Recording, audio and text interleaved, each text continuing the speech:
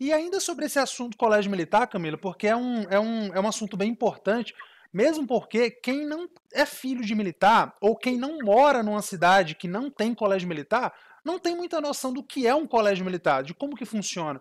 Se você pudesse, assim, resumir em alguns tópicos o que é que o colégio militar te ajudou na tua evolução, como pessoa, como aluna, como adolescente, o que é que o colégio militar proporcionou para você durante esse tempo que você passou lá? É, acho que é bem importante frisar que eu não tenho nenhum parente militar na minha família. Uhum. Eu entrei por concurso, eu fiz o, na minha cidade são 25 vagas, acho que agora continua 25 vagas para entrar no sexto ano. E então eu entrei por concurso mesmo. E eu acho que o que o colégio militar agregou na minha vida foi de me mostrar a ser mais responsável, a regrar a minha vida. Até hoje eu funciono muito assim com horários, com um, metas pré-estabelecidas. Eu acho que isso vem do colégio militar eu acho que desde postura também, que a gente tinha que desenvolver nas formaturas, às vezes uhum. formatura de noite, essas coisas assim, que é uma coisa que criança, adolescente não está acostumada. E a gente, desde o começo do colégio militar, é uh, motivado a ter até essa certa motivação mesmo de estar lá dentro, de vibrar por estar lá dentro, de reconhecer que tinha gente que queria estar ali no nosso lugar também. Sim. E eu acho que também o apoio ao esporte que o colégio militar tá. Ah, dá, tipo assim, não vê isso em outros lugares, pelo menos na minha cidade. Assim, a gente vê em algum que outro colégio particular, mas os públicos não têm muito isso, então o apoio que eles dão até, às vezes até te ajuda a te encontrar num esporte, desde o começo, desde o sexto ano, a gente tem a Taça Alvorada, que é tipo uma interséries, assim, e, então acho que isso também foi muito importante, porque o que eu penso, né, não é ser sobre, ser sobre um super atleta, ganhar muitas medalhas, mas é sobre as amizades que se constitui. E eu Exatamente. acho que isso foi muito. E a questão da liderança também, né, Camila?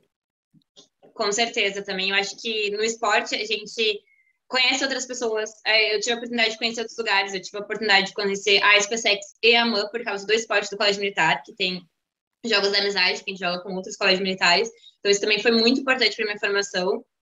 Eu acho que os professores que o colégio militar tem, porque tem professores civis e professores uhum. militares também, isso é bem importante, a convivência também.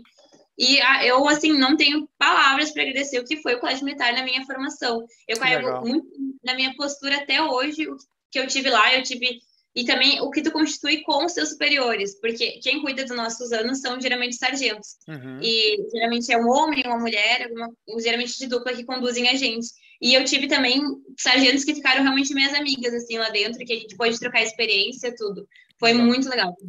Pô, muito legal e, e vendo a sua trajetória, a importância né, de você tomar essa decisão de se preparar, de estudar, de estar num bom caminho o mais cedo possível.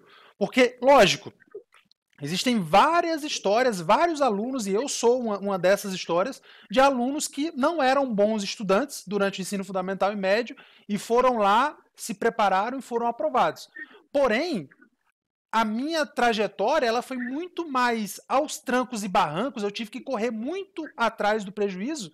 Né? E, lógico, se eu pudesse voltar atrás, eu teria começado a estudar, a levar os estudos a sério muito mais cedo. Né? Mas lembrando, pessoal, que não adianta falar assim, ah, a Camila passou porque ela tem uma base boa. Tá, ela tem uma base boa, mas quem fez a base dela? Foi uma injeção que ela tomou? Uma injeção de base. Não existe essa porra. Foi ela que tomou a decisão de ir lá cedo na vida dela começar a estudar. Agora, isso não quer dizer que uma pessoa que não tem uma boa base não possa ser aprovada. Pode também. Mas, cara, se você tem 10, 11, 12 anos de idade, comece a estudar o mais cedo possível, né, Camila? Com certeza. Muito, assim, é muito importante. Eu acho que às vezes até para pegar o gosto de estudar. Porque eu, a minha mãe perguntava, mas tu gosta de estudar, né? Tu fica estudando. Eu não gosto, mas eu sei que é importante. Exato. Então eu acho que eu já desde pequena eu tive esse hábito de sentar a bunda na cadeira e estudar. Uhum. Eu acho que quanto antes tu desenvolve isso, tu só tem a ganhar, independente do que tu for fazer na tua vida. Uhum. Essa é a fórmula mágica, né, Camila? Sentar a bunda na cadeira e estudar. Essa mesmo.